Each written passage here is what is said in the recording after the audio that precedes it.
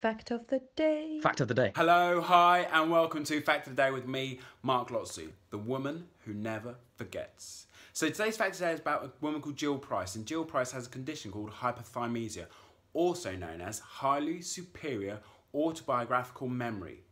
If you haven't guessed it already, she remembers every single day of her life from 1980 on, which is now 51, and she remembers every single day to this, like you're thinking, oh yeah, fine, I remember, I remember what I did yesterday, I remember last year. You say to her, what happened on August the 20, 29th, 1980? She'll say, oh, I was with my friend Tracy, and me and Tracy went to get a coffee. She had a cappuccino latte, I had a um, mocha something or other. I was wearing green plaid skirt and I was wearing a red top. That that is the level of her memory. That's the level of her memory.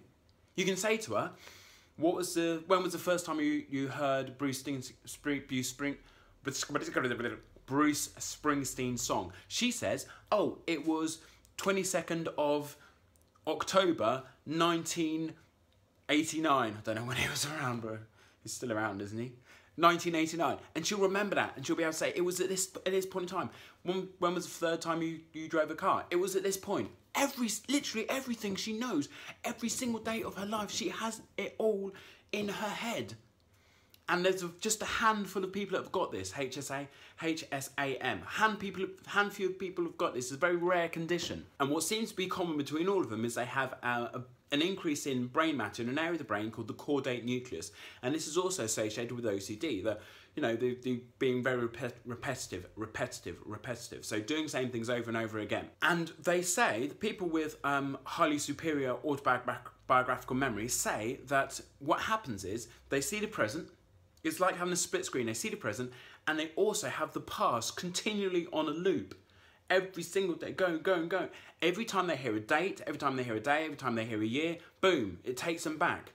And that, that information just floods straight to the front of their brain. They can recall information in the same way that you'd, you'd think, oh, what did I do yesterday? Oh, yeah, I did that. They can do that from 20, 30 years ago every single day of their life. That's absolutely insane. This was an unknown condition before 2000. So if you know anybody with this, I would love to be able to speak to them. If you enjoyed this, please hit like, please hit subscribe. Thanks for your time. Love you, bye. Love you, bye. Love you, bye. Classic.